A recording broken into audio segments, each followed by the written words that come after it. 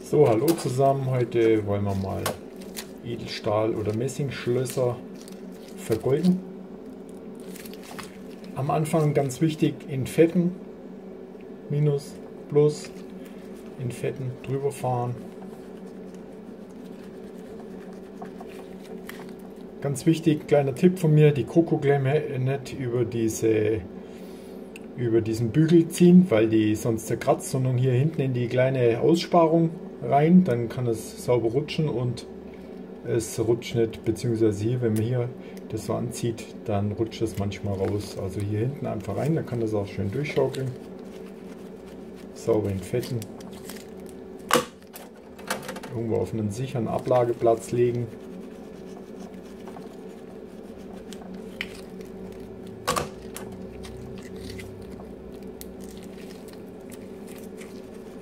Auch hier mit dem Stoffpads, wer da Schwierigkeiten hat, das mit dem Finger zu halten, einfach mit einem kleinen Band an der Elektrode fixieren, kann man danach auch wieder wunderbar abziehen.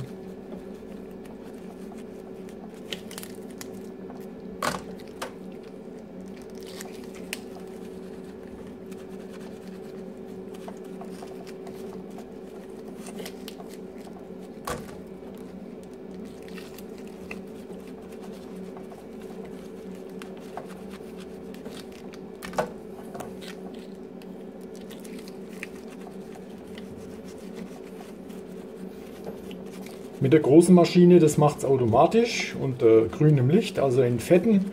Wer mit der kleinen Technik arbeitet, einfach auf 6, 7 Volt.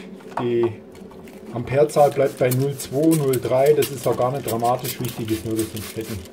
Minusklemme sauber machen, Arbeitsfläche sauber machen und die Schlösser einfach kurz abspülen, damit wir jetzt beim Vergolden keine Mischung haben zwischen Entfetter und Gold. Ich nehme jetzt mal das Klargold, weil die Deckschicht nachher Platin sein soll.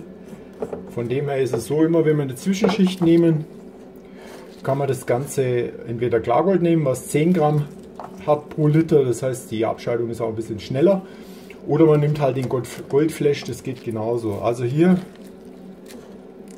hat halt 2 Gramm der Goldflash und von der Abscheidung her ein bisschen, dauert ein bisschen länger. Bei so kleinen Sachen 5 bis 6 Volt in der Abscheidung. Bei der großen Maschine nehme ich ungefähr 12 Uhr Position vom Stellrad. Nochmal vorher abspülen, damit es richtig sauber ist.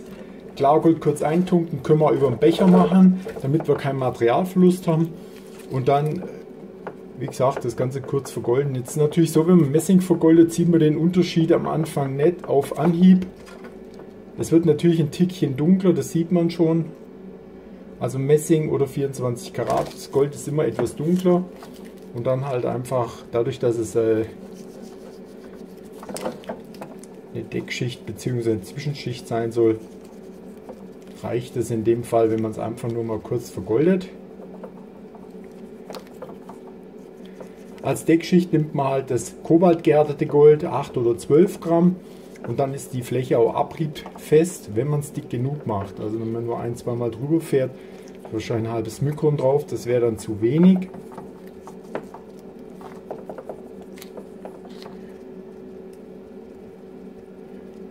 Aber dadurch, dass so Schlösser wahrscheinlich irgendwo einmal benutzt werden, unten umklippen. Jetzt den Bügel. Dadurch, dass dieser Stoffpad auch mit den Fasern zwischen durchläuft, legt sich da natürlich das Gold auch automatisch an.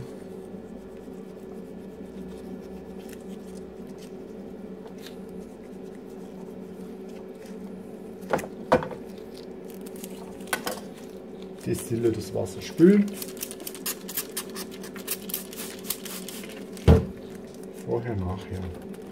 Ja, das sind vielleicht jetzt ein paar, paar Milliliter gewesen wo man zum Vergolden braucht und von der Arbeitszeit her habt ihr gesehen, keine 5 Minuten. Wenn ich für so ein Schloss 10 Euro nehme, kann man sich in etwa ausrechnen, was man für einen Profit dabei macht. Also 24 Karat Gold. Noch ein kleines Wort zur Galvanik. Es gibt Firmen, die das in die Galvanik stecken. Dann ist so, dass durch die Galvanisch, also wenn man jemand findet, der das auch macht, ist so, dass sich hier innen drin und auch in den Schlössern das Elektrolyt anlegt. Das heißt mindestens 40% Ausschuss. Ich habe also diverse Hersteller, die mir das bestätigen können. Das heißt, viele Schlösser sind nach dem galvanischen Vergolden oder auch dem Verchromen unbrauchbar. Also fast 40% kann man locker aussortieren, weil halt einfach das Elektrolyt da drin die Schließe komplett verklebt, beziehungsweise hier äh, so, so zumacht, dass der Schlüssel nicht mehr reinpasst. Und bei uns mit Stiftgalvanik funktioniert das Ast rein, also aus Schrauben, passen wieder ins Gewinde, Klappen schließen genau wieder plan, das ist überhaupt kein Problem. So, das war's.